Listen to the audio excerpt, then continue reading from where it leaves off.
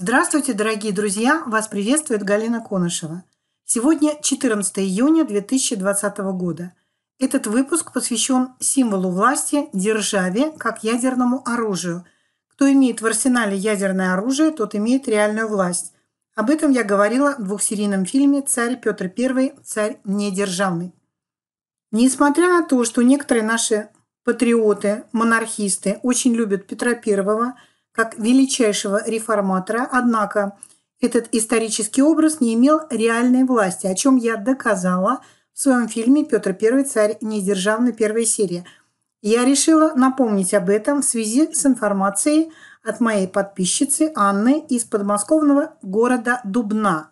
Цитата. «Галина, здравствуйте. Я совсем недавно заинтересовалась такой историей. Смотрю вас с большим удовольствием фильмах про Брандмауэра стала вспоминать знакомые символы. И вот что скажу. Мы живем в Дубне, городе физиков-ядерщиков, и есть у нас один памятник. Прямая наводка на форменные шлемы брандмейстеров. Эту эмблему я очень скрупулезно разбирала в серии фильмов, что прикрыли словом Брандмауэра. Эмблема круглой по форме бомбы, отсюда бомбардиры, была на фуражках пожарных конца XIX – начала XX века, а также на фуражках итальянских полицейских, карабинеров и до сих пор существует. Символ однозначно говорит об взрывающейся круглой колбе в начальной фазе, взрыв в начальной фазе. А памятник в городе физиков-ядерщиков напрямую отсылает к символике державы и знакам бомбардиров – что, я полагаю, подтверждает мою версию о том, что держава на портретах монархов – это ядерная бомба, а не означает э, земной шар, как мы раньше думали. Город Дубна, по версии дубнинского любителя истории города Л.Л. Зиновьевой, цитата, основан как поселение в 1946 году в условиях строжайшей секретности в рамках атомного проекта СССР, задачей которого было создание атомной бомбы – Научным руководителем работ был И.В. Курчатов. Это значит, что символ ядерной бомбы на памятнике в Дубне, шар, из которого в верхней части вылетает пламя, начало взрыва, можно было бы сказать, что это имеется в виду планета или ядро атома. Тогда логичнее было бы показать взрыв в разные стороны, разрывающий шар. А здесь один в один знак бомбардиров, пожарных, карабинеров. Дубна как город был образован несколькими прилегающими поселками и деревнями. Есть там и своя древняя история. 25 лет существует музей краеведения и археологии. Конечно, люди всегда жили по берегам рек. Здесь река Волга. В 1933 году было начато строительство канала Москва-Волга. Однако после того, как я нашла допотопный канал в Сталинграде Волга-Дон, который был уже в 15 веке, я здесь присматривался, с нуля ли строился канал Москва-Волга или тоже восстанавливался. Здесь есть строительство ГЭС 1936 года, все вручную, копают лопатами. ГЭС августа 1942 Дубна. Я слабо представляю, как можно было все это прорыть вручную, такую линию канала и ГЭС.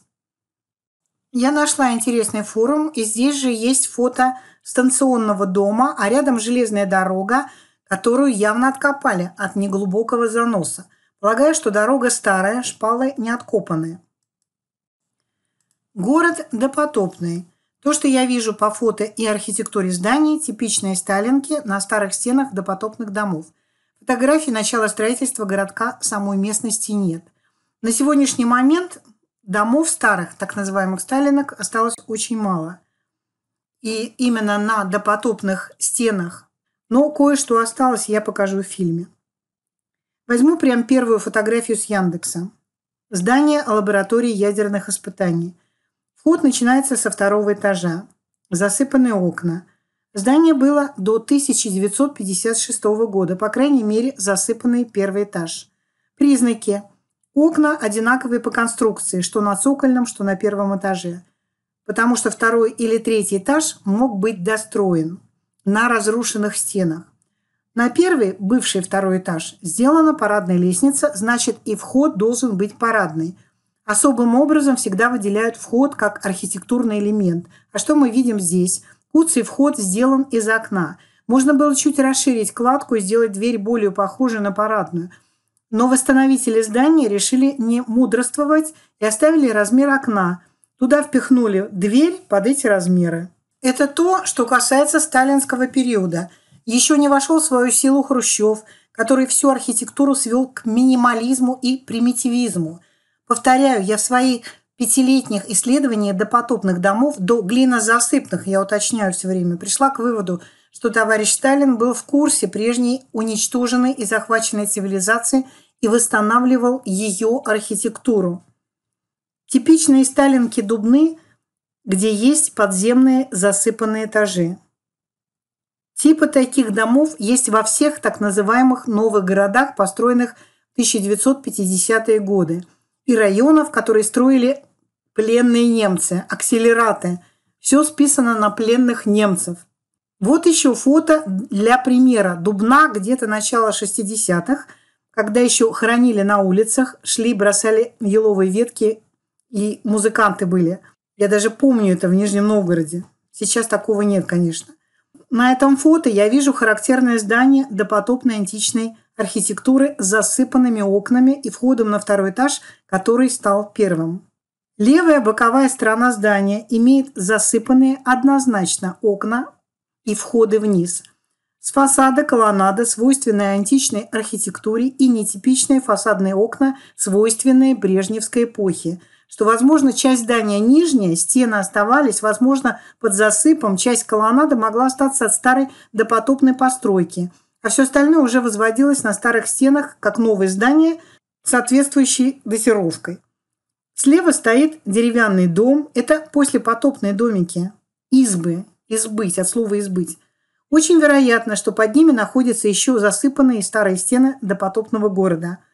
Справа типичная хрущевская брежневская типовая застройка, которая тоже может иметь так называемые подвалы от старых зданий, но на этом фото не видно – это могут изучить уже местные альтернативщики, эти дома и стены, приямки этого здания. Но я его не нашла больше ни на фотографиях, ни на современной карте. Возможно, что этого здания не существует. Это старые фотографии Дубны, и этого здания я не нашла. Школа номер пять. Вот мне попалась фотография на левом берегу. То есть это по другую сторону канала получается – и сегодня она сохранилась, есть достроенная, и окна засыпанные остались. Это говорит о том, что характерные античные здания, так называемые засыпанными окнами, встречаются и по эту сторону Волги, и по другую сторону. Возможно, вероятно, что здесь был большой город. А сейчас расскажу историю, связанную с каналом. Все-таки он был. Он был ранее. Я нашла такую информацию. Канал Москва-Волга. И все-таки он был, как и в случае с Волга-Дон. Канал. Царицын, Сталинград. Цитата. Первое документально зафиксированное предложение соединить реку Москву с Волгой было обнаружено историками в государственных бумагах времен Алексея Михайловича. При его сыне Петре Алексеевиче, это Петр I, инженер Геннинг разработал соответствующий проект. Ставилась задача облегчить транспортировку грузов с Волги через Москву-реку на север, исключить сухопутные участки пути из Волжан в Балты, воспоминания которых сохранились в известных топонимах Вышний Волочок и Волоколамск. Когда проект был готов, Петр Алексеевич ознакомился со сметой и сказал «Однако». И о канале пришлось на время забыть. Для молодой Российской империи такие сметы были еще не по карману. Второй раз к проекту вернулись при Николае Первом – Начали рыть в 1825 году, закончили в 1850. Видимо, в те времена уже существовал знаменитый российский стройбат. На строительстве канала работали в основном солдаты его императорского величества. В 1850 году открыли канал, а через год закончилось строительство первой железной дороги Санкт-Петербург-Москва – с самого начала ее эксплуатации стало ясно, что перевозить грузы по железной дороге гораздо дешевле. Судьба канала была решена. Он просуществовал в общей сложности 10 лет, постепенно приходя в упадок, и в 1860 году был официально закрыт. Инвестиции ушли в песок. Здесь опять фигурирует дата 1860. Думаю, канал не пришел бы в запустение, если бы им пользовались. Им не пользовались, как говорит официальная версия, из-за того, что была открыта железная дорога. Но эта дата рубежная, 1860 год, она совпадает как закрытие всех проектов по всей стране. Это я говорю в разных фильмах, том числе фильм по исследованию города Кохма. Там тоже фабрики все закрываются, все, ничего не работает. Как раз в этот период. До этого работали в 1830-х, и после, после 1860-го начинается развитие 1870-е, 1890-е, в основном входят в строй опять фабрики, и железная дорога появляется. А 1860-е – это такая яма. И яма информационная в том числе. Поэтому здесь, я думаю, с каналом то же самое. Он пришел в запустение не потому, что была создана железная дорога, а потому что что-то произошло. Была катастрофа, по всей видимости, канал был засыпан, поэтому им нельзя было пользоваться. Завален вот этой жидкой глиной, как и все города. Воссоздание канала начинается уже в советское время, в 1933 году.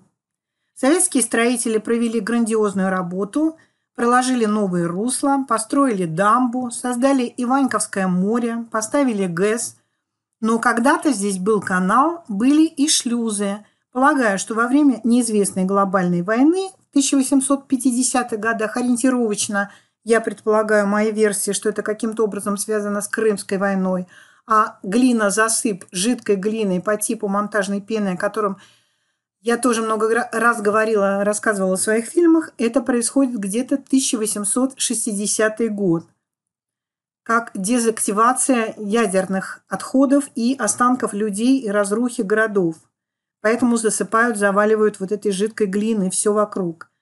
Потом начинают откапывать, когда проходит некоторое время. Вот и здесь мы то же самое видим на старых фотографиях. Поэтому полагаю, что и канал пришел в негодность к 1860 году. Он был засыпан. В фильме «Волга-Волга» с Любовью Орловой в главной роли есть кадры канала и памятник Ленину. Канал строился руками заключенных и вольнонаемных, заключенных с ГУЛАГа. Цитата. «Грунт, вынутый экскаваторами, грузили на железнодорожные платформы, которые при помощи паровозов увозили за пределы трассы канала. Для разгрузки грунта с платформ был применен гидросмыв, напор водяной струи, вылетающей из водяной пушки, гидромонитора – такой способ был предложен инженером Холлином. С 1935 года на строительстве канала широко стала применяться гидромеханизация, то есть размыв грунта, транспортирование его и намыв насыпи водой под напором. Только на Хорошовском спрямлении излучины Москвы-реки методом гидромеханизации вынут миллион кубометров грунта. Грунт, я полагаю, это глина. К концу строительства механизированный труд почти полностью вытеснил ручной. Но тем не менее на фотографиях видно, что очень много ручного труда, без него не обойтись. Тяжело шло строительство шлюзов южного склона канала. Котлован под седьмой шлюз глубиной 25 метров отрывался в водонасыщенных плавунах. Метод замораживания грунта на стройке не применялся. Тяжелые экскаваторы, работавшие на железнодорожном ходу, порой засасывало вместе с рельсами – Дорога Лежневка к экскаваторам долго не выдерживала и тоже уходила в разжиженный грунт. Требовалось уложить 4-5-метровую толщу бетона на дно будущих шлюзов. Для его производства был построен бетонный завод. Транспортеры в утепленных галереях подавали бетон к месту раздачи. И заключенные канал армейцы вручную в тачках по узким доскам перевозили его в котлованы. По официальной версии того, что канал перестал быть рентабельным и в 1860 году был закрыт из-за того, что 1850 году была проложена железная дорога, Потом в начале 20 века опять была попытка построить канал, вернее, по моей версии, восстановить, потому что необходима была вода для Москвы, не хватало уже водопроводной воды, из Мытищи нужно было доставить воду. Но помешала Первая мировая война. И получается, только молодой Советской Республике понадобился канал, он стал рентабельным и был создан колоссальным трудом рабочих, строителей, о чем говорят сами скульптуры. Можно все что угодно говорить про заключенных, да, это все было, действительно было. Но скульптуры канала посвящены именно рабочим людям. Рабочий класс – это главная сила Советской Республики. И скульптуры посвящены простым людям, простым советским людям. Это тоже была главная ценность советской власти. Очень много ручного труда было в строительстве канала. Это действительно грандиозный проект был.